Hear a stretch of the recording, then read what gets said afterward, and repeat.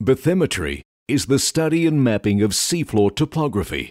It involves obtaining measurements of the depth of the ocean and is equivalent to mapping topography on land. A bathymetric survey produces a map that charts the contours, depths, and hardness of the ocean floor. Bathymetry maps are available for some of the world's oceans and seas. However, in deep oceans, the maps are mostly very low resolution. In the search for MH370, a survey is being undertaken to provide detailed bathymetric information in the priority search area. This video shows data acquired by Geoscience Australia in a previous marine survey in deep water to the northeast of the current search area.